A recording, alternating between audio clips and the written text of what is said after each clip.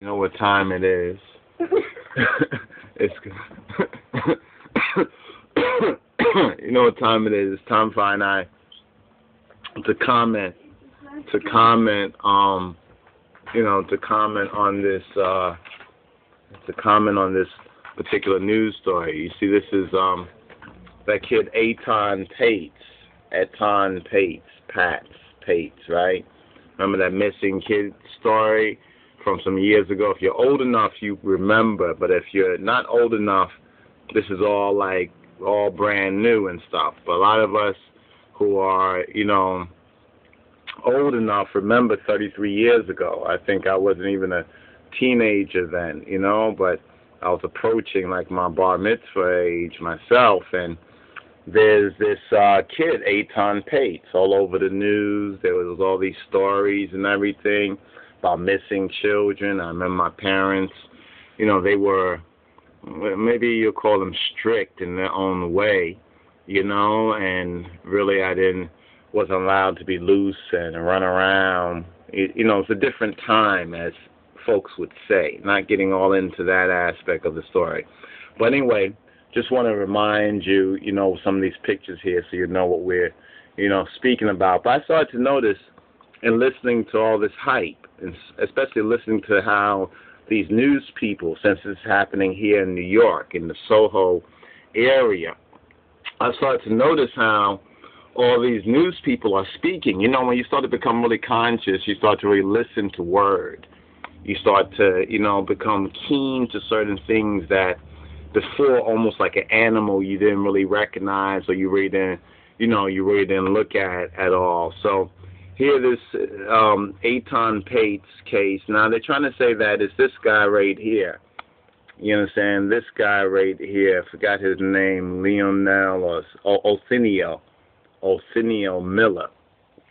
Right? They say he suffered some heart attack or something like that, health problems, and perhaps um, you know, some information and dogs were sniffing and smelled some scent and now they got a whole bunch of new technology. But there's a there's a lot much more to this so called Etan Pates case, you know, Pat's case. Thinking of like Patsy and the Eton uh, it slips me right now, but it's I think obvious that he's um considered to be a Jew. They had his um either his grandfather or something on news, even though that wasn't a really a big aspect of the case, his um, um, so-called ethnicity or religion or so forth and so on, as far as you know being uh, Jewish.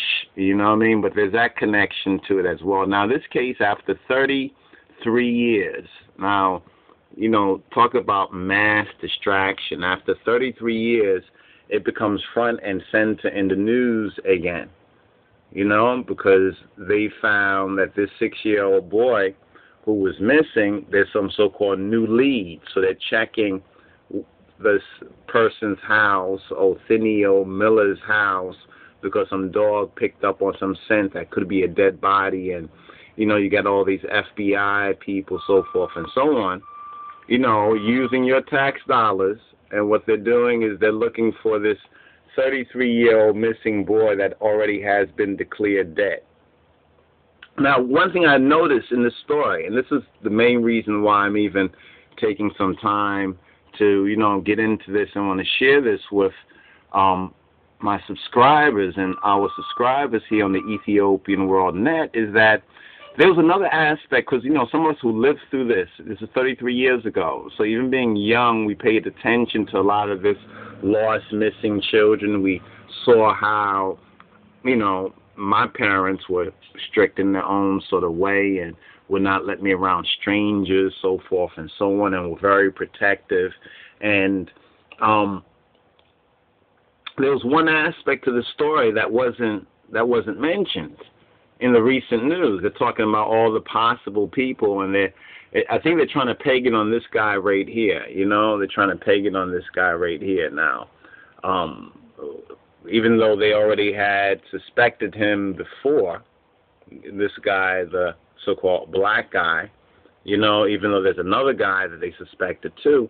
But then I notice one thing they don't talk about. Do you remember those of y'all who are old enough? Do you remember there was this so-called man-boy love association?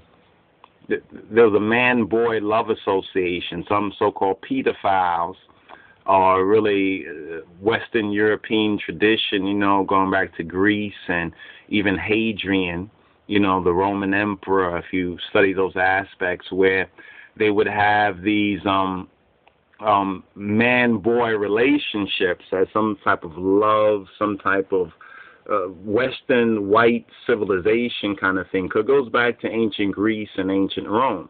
Man boy love association. So what we, what we did is, you know, we went here and we looked this up, and let's share this with you right here. Okay, now, as we're looking at this right here, let's see if we can get a a good view of this, right? As we're looking at this right here, right? Man Boy Love Association. Let's see what's up here. They have rape information on a rape. Um, uh, it says uh, which ultimately lost credibility. One piece of evidence they say right here, which ultimately lost credibility, was a photograph that seemed to link Et- Etan Pate's fate to the North American Man Boy Love Association. I, I remember this really distinctly.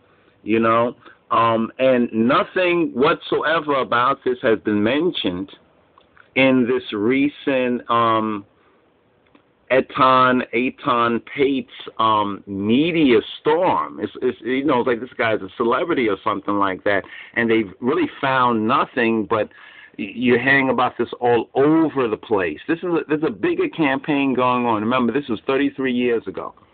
33 years ago. He was six years old. And if you know how, you know, they like to play with numbers and use certain numbers, and even one of the news people said that this particular story, it conjures all these sort of images. It conjures, you know.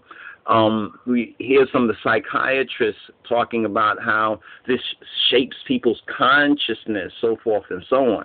You know, even though there's been many, plenty of missing children and black children, black girls and boys and Hispanic um, boys and, and girls as well who are missing. And we hear little to nothing about it. I mean, in fact, there's a girl who went missing, a black girl, um, who was supposed to be taken away from her mother, who went missing um, recently over the last couple of days. And now they you know, even though they they didn't respond to it in the same way because you know we still live in a racist, a post-racial racist society because they never really fully addressed these particular issues and the issue even with the Trayvon Martin is just another example. The sheeple got to wake up or the sheeple are going to head to the slaughter. You know, that's just the plain deal. Let's just keep it real. Either the sheep will wake up or the sheep will are heading to the slaughter because it ain't nothing changed. It's the same old game. It's like the same. It's like repeats. You know, it's like it's in syndication now.